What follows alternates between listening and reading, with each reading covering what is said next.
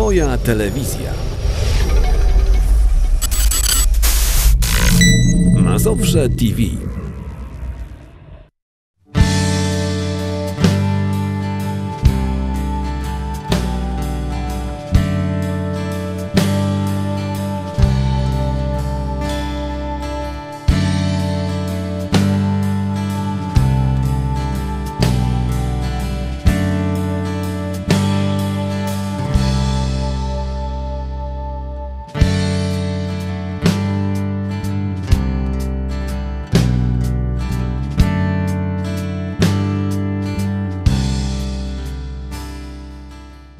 Siódmą kadencję tworzą Państwo to miasto i gminę. Miasto, które dzięki Waszemu zaangażowaniu, Waszej pasji i doświadczeniu stało się jednym z najprężniej rozwijających się miejsc w kraju. Nic nie stałoby się, gdyby, nic nie zmieniłoby się, gdyby nie właśnie Państwa zaangażowanie, bo to dzięki Wam. Tu do Błonia przyjeżdżają rodziny, osiedlają się, bo znajdują fantastyczne warunki do życia. Tu na ponad milionie metrów kwadratowych przedsiębiorcy zlokalizowali swoje bazy i magazyny i tak powstała polska stolica logistyki. I to dzięki Wam tak naprawdę warto było przez te 25 lat temu oddać małe ojczyzny w ręce samorządów. Szanowni Państwo, wiele się zmienia w Błoniu, ale tu nie zapomina się o historii. To bardzo cenne. Tak między innymi zachowuje się zabytki, układ przestrzenny, ale wraca też Wasza legenda, zegarek marki Błonie.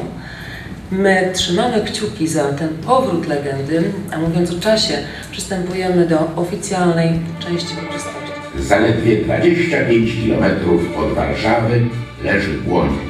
Z Warszawy doskonały dojazd starą trasą poznańską bądź nową autostradą. Jesteśmy w stolicy polskiej logistyki. Miasto wygrało swoją szansę doskonałego położenia i dojazdu. Rozwija się dynamicznie. 25 lat samorządu to oczywiście 25 lat pełnej wolności, demokracji, niepodległości całej Polski, ale to także 25 lat zmian w naszym kraju, zmian w naszych miejscowościach, miastach, miasteczkach i w naszych gminach. I dzisiaj jest dobra okazja, żeby w tym dniu podziękować wszystkim e, byłym radnym, wójtom, burmistrzom, którzy przyczynili się do rozwoju Polski, w tym także do rozwoju gminy Błonie. Panie i Panowie, drodzy goście, Szanowni Państwo. 25 lat samorządu, to jak widzieliśmy, 25 lat zmian, to także 25 lat pełnej wolności, pełnej niepodległości i pełnej demokracji, demokracji w Polsce, w naszej ojczyźnie. To także 25 lat przemian w całym kraju, także i w gminie Błonie. Pozwólcie, że nie będę zbyt długo na temat tych przemian tych 25 lat mówił, dlatego że czekamy na pana profesora Jerzego Stępnia, który za chwilę na pewno nam o tym opowie.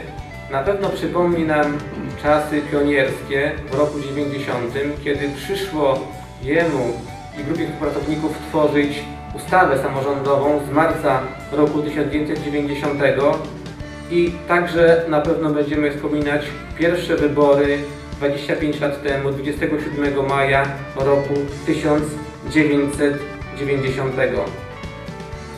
Te zmiany, które także mieliśmy możliwość obejrzenia na filmie są widoczne nie tylko w gminie Błonie, ale także w całej Polsce.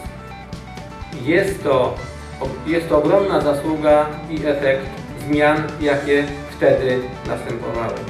Ale wróćmy na chwilę 25 lat temu do roku 90. To były czasy niezwykle trudne dla samorządu, czasy pionierskie, kiedy przyszło Wam, drodzy burmistrzowie, radni, zmagać się z tamtą rzeczywistością.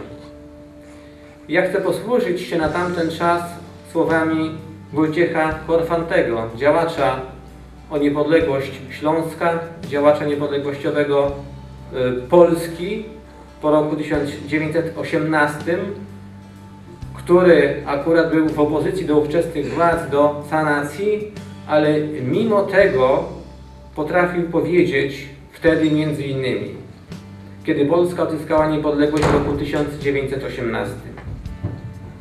Że nie jest to Polska naszych marzeń, ale nie ustawajmy w pracy i poświęceniu, by uczynić Polskę godną naszych marzeń. Polskę wielką, mocarstwową i Polskę sprawiedliwą. Dzisiaj mamy taką Polskę. Łatwo się przekonać, jak było wtedy, a jak jest dziś. Te same budynki sprzed ćwierć wieku. Zachęta przy Ryngu i Poznańskiej. Tak wygląda dziś. Dawniej był tu kamień, a dziś fontanna. Ulica Mickiewicza. Zupełnie odmłodniała. A tak w 1990 roku wyglądał ratusz. Dziś budzi podziw turystów i kinobajka ćwierć wieku temu. A teraz proszę, zupełnie coś innego. A zmiany zaczęły się w 1990 roku. W wyborach 27 maja w 24 okręgach wyborczych do Rady Gminy i Miasta Błonie stanęło 66 kandydatów. Pierwsza rada liczyła 24 radnych, konkurencja była więc ostra. Na pierwszych sesjach podjęto najważniejsze dla Błonia uchwały. Wybór burmistrza i skarbnika. Uchwalono też statut miasta i gminy oraz podział na osiedla i sołectwa. Te zmiany są widoczne w całej Polsce, także są widoczne i w gminie Błonie. Zmieniły się nasze ulice, zmieniły się nasze budynki, powstało wiele nowych obiektów użyteczności publicznej, powstały nowe przedszkola, e, nowe szkoły, e, parki, powstało wiele nowych inwestycji, które dzisiaj służą mieszkańcom gminy Błonie. Czym jak czym, ale nowymi ulicami Błonie może się szczycić. Zachowało swój średniowieczny plan, o którym mówił profesor Samsonowicz i umiejętnie wkomponowało nowe drogi, co ważne, przemyślane rozwiązania komunikacyjne powodują, że mimo dużego ruchu miasto jest przejezdne. Jak grzyby po deszczu rosną w Błoniu i okolicach nowe osiedla i domki jednorodzinne. Doskonałe położenie miasta w pobliżu stolicy spowodowało, że Błonie i okoliczne miejscowości stały się bardzo modnym miejscem zamieszkania. A budują się tu nie tylko warszawiacy. Wiele osób przyjeżdża tu z całej Polski. Od 12 do 14 czerwca fascynująco zapowiadają się tegoroczne Dni Błonia. Niczego nie zabraknie. Będzie szkolny pochód ulicami miasta, będzie prezentacja piosenek i rajd naukowy, liczne sportowe imprezy. Od 17 lat święto miasta cieszy się niezwykłym powodzeniem. Ale imprezy to nie tylko Dni Błonia. Również wiele atrakcji dla najmłodszych, jak Dzień Dziecka, Błoński Uśmiech Młodzieży, rodzinny piknik przedszkolaków czy jesienny warzywniak, a także imprezy dla wszystkich. Dożynki, pożegnanie lata i wiosenny piknik, ekobłonie oraz uroczystości patriotyczne. 3 maja, 1 września, 11 listopada.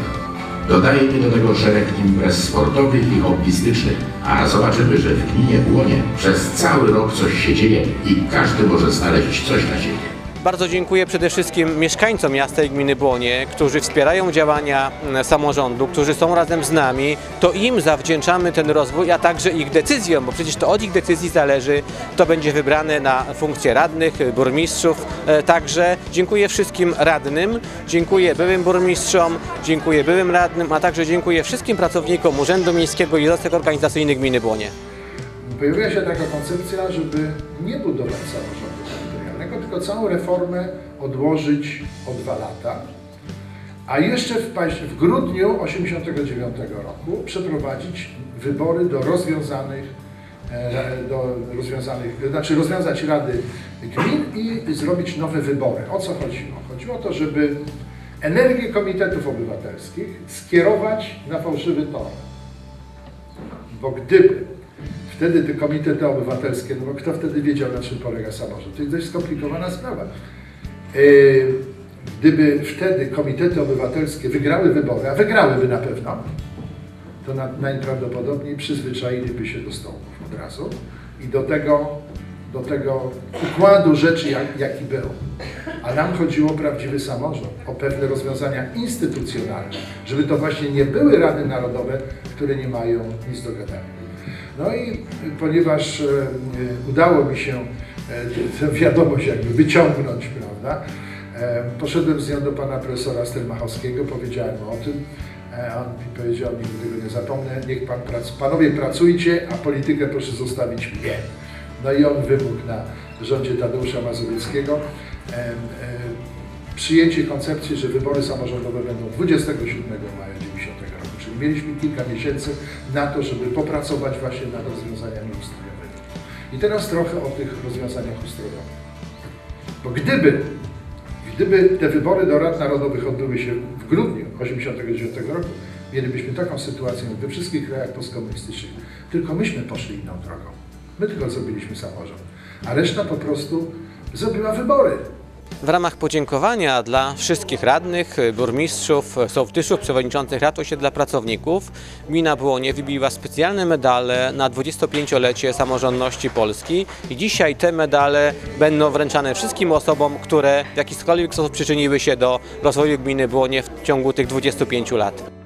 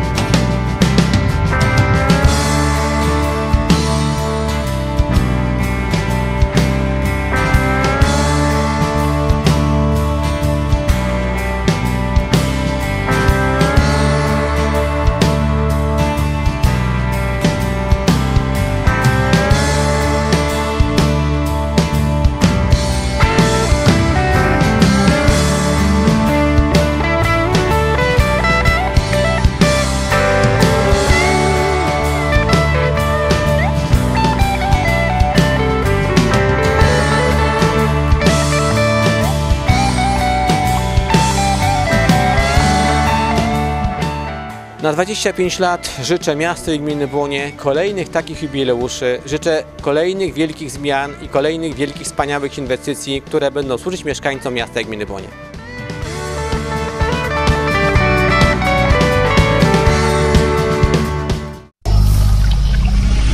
Twoja telewizja. Mazowsze TV.